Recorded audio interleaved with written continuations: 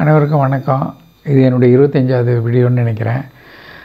இதுக்கு முதல் மூன்று வீடியோக்கள் வேறு சேனலில் இருந்ததுனால தொடர்ச்சி கருதி அதில் நான் திருப்பி பேசி இந்த சேனலில் கொண்டு வர வேண்டியதாக இருக்குது அந்த வகையில் இது ரெண்டாவது வீடியோ. முதல்ல இதில் வந்து மருத்துவம் உலகத்தில் எப்படி பயிற்றுவிக்கப்படுது எப்படி ப்ராக்டிஸ் இல்லாமல் எல்லோரும் பண்ணுறாங்கன்னு சொன்னேன். இந்த வீடியோவில் மருத்துவத்தின் தேவையை பற்றி சொல்கிறேன் மருத்துவங்கிறது வந்து உயிராக்கும் தொழில் மட்டும் இல்லை இன்றியமையாத தொழில். ஒரு ஆனால் எனக்கு இப்போ எண்பத்தி ரெண்டு வயசில் கிட்டத்தட்ட ஏழு வயசில் உபரம் தெரியும்னு ஆரம்பிச்சிங்கனாக்கா சின்ன வயசுலேருந்து இந்த எழுபத்தஞ்சி வருஷமாக என்னுடைய அனுபவத்தை சொல்கிறப்ப முதல்ல எனக்கு பார்த்தீங்கன்னா இந்த உலகத்தில் இந்த அளவுக்கு ஃபெர்டிலிட்டி சென்டர்ஸ் வந்து முன்னாடி கிடையாது. அதாவது குழந்தை மலட்டு மலட்டுத்தன்மை இருந்து குழந்தை பிறக்காதது வந்து கிடையவே கிடையாது. முக்கியமான காரணம் நம்மளோட லைஃப் ஸ்டைலு நம்மளோட மாடர்ன் ஃபுட்டு எக்ஸசைஸ் இல்லாதது ஒபிசிட்டி இதெல்லாம் காரணம். அடுத்தது வந்துனாக்கா நம்ம பிறந்த உடனே அந்த கு சிறு குழந்தைகளுக்கு உள்ள நமக்கு நாமே தடிக்கிற வியாதி ஒபிசிட்டி லைஃப் ஸ்டைல் அடுத்தது வந்து மது பழக்கம் குடிப்பழக்கம் மது அது இப்போ வந்து வித்தியாசமே இல்லை. சின்ன வயசு பிள்ளைங்க க- school children high school children வந்து குடிக்க ஆரம்பிச்சிட்டாங்க. பார்க்குறதுக்கு ரொம்ப வேதனையாக இருக்குது மது அது வந்து எத்தனை எல்லாரும் சொல்கிறாங்க ரேடியோவில் சொல்கிறாங்க டிவியில் சொல்கிறாங்க புஸ்தகத்தில் எழுதுகிறாங்க ஆனால் யாரும் ஃபாலோ பண்ண மாட்டேங்கிறாங்க. இது வந்து பேரழிவுக்கு நம்ம தமிழ்நாட்டை இழுத்துட்டு போக போகுது அதுக்கு அடுத்தபடியாக என்ன அப்படின்னாக்கா மது பழக்கமாவது பரவாயில்ல. நீங்கள் வந்து டி அடிக்ஷனில் வந்து பத்து பேருக்கு ஒரு ஆறு பேர் ஏழு பேரை மாற்றிடலாம் ஆனால் போதை பொருள் இருக்க இன்னும் சின்ன அது வந்து மது பழக்கத்தை விட ஈஸியாக அடிமையாக்கி ஜனங்களை வந்து அப்படியே அதாவது ஒரு பேய் பிசாசை பிடிச்ச மாதிரி கட்டுண்டு போயிடுறாங்க. சிறு எப்போ அதுக்கு ஆபத்து? ரெண்டு அதிலேருந்து மீட்டெடுக்க முடியலைங்கிறாங்க. டாக்டருங்க ரொம்ப பயப்படுறாங்க. மருத்துவத்திலேருந்து மீட்டெடுக்க முடியல. இதெல்லாம் தானே வியாதி. அதாவது குடிப்பழக்கம் மதுப்பழக்கம் ஒபிசிட்டி லைஃப் ஸ்டைல் இது எல்லாமே கொஞ்சம் நம்ம ஒழுங்காக இருந்திருந்தோம்னாக்கா லைஃப் நல்லாயிருக்கும். இது ஒன்று அப்புறம் அடுத்தது இது டிராஃபிக் ஆக்சிடெண்ட்ஸு சொல்லவே வேண்டாம். டிராஃபிக் ஆக்சிடெண்ட்ஸ் வந்து இதில் இறந்தவங்களோட வேர்ல்டு வாரில் இறந்தவங்களோட டிராஃபிக் ஆக்சிடெண்ட்ஸ் எல்லாம் இறந்தவங்க வந்து ஜாஸ்தி. அப்படின்னு ஃபஸ்ட் வேர்ல்டு வாரோட அந்த நேரத்தில் டிராஃபிக் ஆக்சிடெண்ட்டில் இறந்தவங்க ஜாஸ்தின்னு சொல்லுவாங்க. இந்த அளவுக்கு வந்து நம்ம இன்றைக்கி கேர்லெஸ்ஸாக இருக்கோம். நம்ம ஒழுங்காக இருந்தாலும் எதுக்கு வரவங்க குடிச்சிட்டு வந்தாலோ ரோடு சரியாக பராமரிக்கப்படாமல் மோசமாக இருந்தாலோ இல்லை ஆடு மாடுகள் குறுக்க வந்தாலோ ஆபத்து இருக்குது. ஸோ இதையும் வந்து நம்ம வந்து யோசனை பண்ணோம் நம்ம மட்டும் சரியாக இருந்தால் பரவாயில்ல. நாடு ரோடு எதுக்க வர்றவங்க எல்லாரும் சரியாக இருக்கணுங்கிறது முக்கியம். இதெல்லாம் எதுக்கு சொல்கிறேன் உங்களோட தேவைகள் வந்து வெவ்வேறு ஆங்கிள்லேருந்து உங்களுக்கு தேவைகள் வருது. அடுத்து அடுத்தது வந்து வார். வாரை பற்றி சொல்லவே வேண்டாம். ஒரு கண்ட்ரிக்கு இன்னொரு கண்ட்ரிக்கு வார்னு வர்றப்போ எப்படியெல்லாம் வந்து நூற்றுக்கணக்கான மக்கள் கண்ணி வெட்டியில் வச்சு சிதறி ஒரு நேரத்தில் உடல் கிடைக்காம இப்படியெல்லாம் நடக்குது. இதெல்லாம் வந்து தவிர்க்கப்பட வேண்டியவைகள் ஏன்னா உலகத்தில் நடக்குது அப்படிங்கிறது நம்ம என்ன அதாவது நம்ம வைத்தியத்தை கற்றுக்கிறதுக்கு அது ஒரு மோர் சர்ஜரிஸ் நிறைய ஆப்பர்ச்சுனிட்டி இதில் கூட சொல்லுவாங்க செகண்ட் வேர்ல்டு வாரில் தான் வந்து பிளட் பேங்க்கு பிளட்டை கண்டுபிடிச்சாங்க பிளட் குரூப்பிங் கண்டுபிடிச்சாங்க.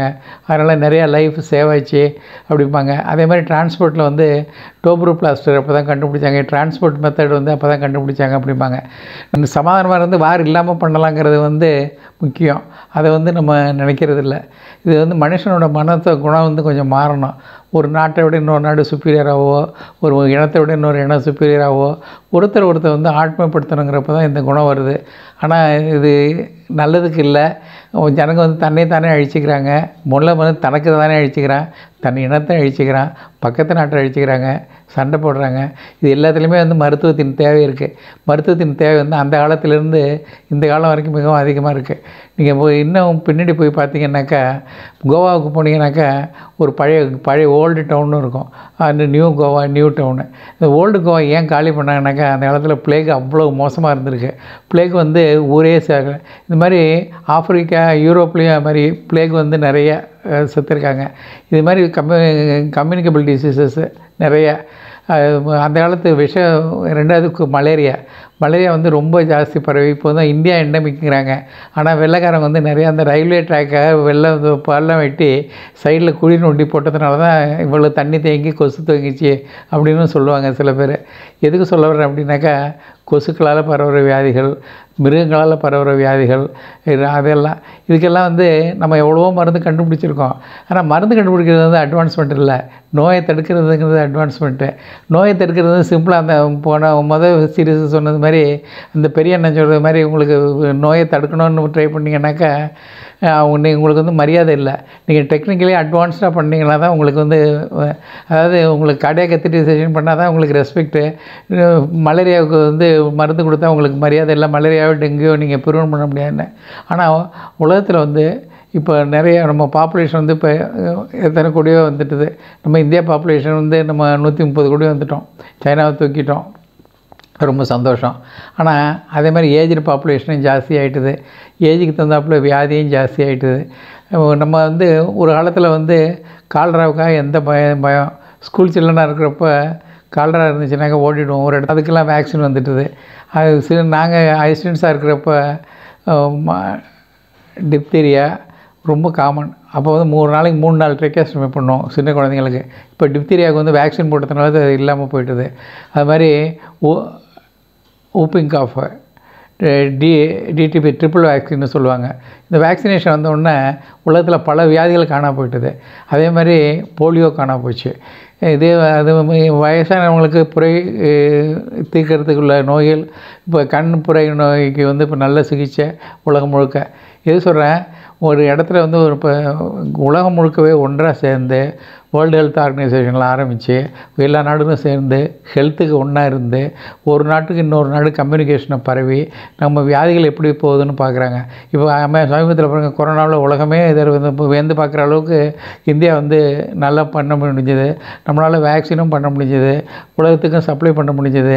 பக்கத்து ஊர் ரெண்டாவது நம்ம வீடு நல்லா இருந்தால் பத்தாது. பொதுவாக நம்ம பற்றி வீடு பற்றி எறிகிறப்போ பக்கத்து வீடு பற்றி எரிஞ்சால் அடுத்து நம்ம வீடு பற்றி எரியும் அதனால தான் வேர்ல்டு ஹெல்த் ஆர்கனைசேஷன் வந்து ரொம்ப முக்கியமான ஒரு நாலேஜை பரிமாறி உலகத்தை வந்து இது பண்ணுது.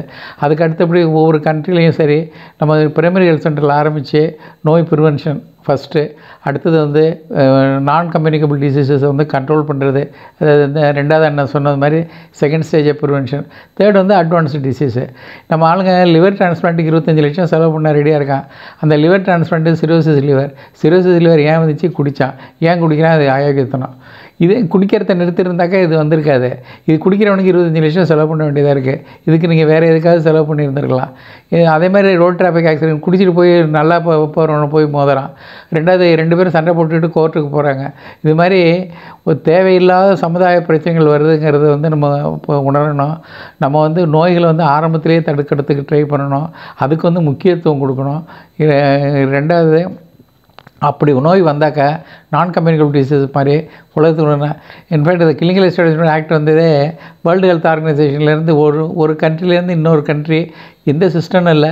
என்ன வியாதின்னு அந்த வியாதியை கண்டுபிடிச்சி ஒரு இடத்துலேருந்து அந்த வியாதி இன்னொரு இடத்துக்கு பரவாமல் அதுக்குள்ளே ஆன்டிடோடை கொடுத்து இல்லை அதுக்குள்ளே வேக்சினை கொடுத்து உலகத்தில் ஒரு ட்ரீட்மெண்ட் இன்னொரு ட்ரீட்மெண்ட்டும் ஒத்து போகிறாப்புல பண்ணாத நல்லாயிருக்கும் அதனால் வந்து நோய்கள் வந்து நம்மளாலேயும் வரும் நமக்கு பக்கத்தில் இருக்கிறவங்களாலேயும் வரும் மிருகங்களாலேயும் வரும். பூச்சி பூச்சிகளாலேயும் வரும். வைரஸ் அது எந்த பாக்டீரியா வைரஸு எது வேணாலும் வரலாம். ஆனால் நம்ம வந்து தடு ஒன்று தடுக்க முற்படணும். ஆரம்பத்திலேயே ஐசோலேஷன் வேணும். ரெண்டாவது ப்ராப்பர் ட்ரீட்மெண்ட் வேணும். வேக்சினேஷன் இருந்தால் வேக்சினேஷன் வேணும். எந்த வியாதிக்கும் மருந்து இருக்குங்கிறதுக்காக காஸ்ட்லி ட்ரீட்மெண்ட் எடுத்து அன்சர்டனிட்டியில் போய் முடியக்கூடாது. எல்லாத்துக்கும் வந்து ஆரம்பத்திலேருந்து கவனமாக இருக்கணுங்கிறது ரொம்ப முக்கியம்.